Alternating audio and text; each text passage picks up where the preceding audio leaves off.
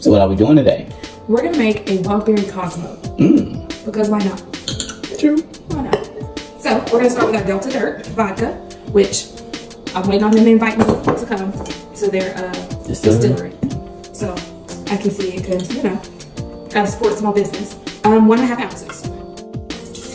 Then we have our Island Oasis. This one is the wild berry, which mm, I hope it's as good as the strawberry. We're gonna see. We're gonna see. Three quarters of an ounce. It smells really good. Then we have half an ounce of our orange liqueur and half an ounce of our lime juice. Add your ice and shake it up. Grab your coupe glass, or you could do um, a martini glass. It's up to you.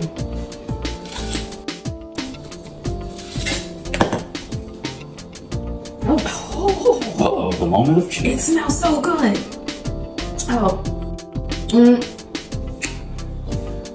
I need to go get it.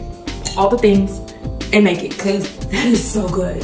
It is perfect for spring because spring just started. So, oh, that is good. Easter is coming too.